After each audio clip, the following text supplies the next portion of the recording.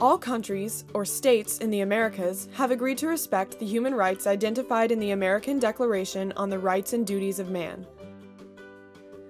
Some states have also ratified regional human rights treaties, which include the American Convention on Human Rights and treaties on specific topics.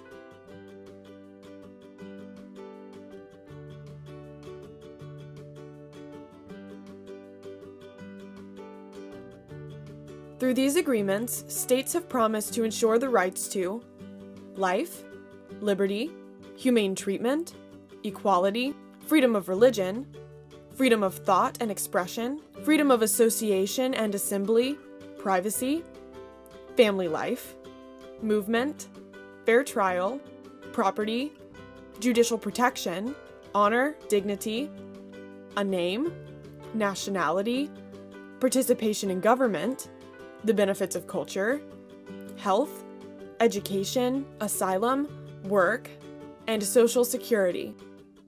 Our understanding of these rights is continually expanding.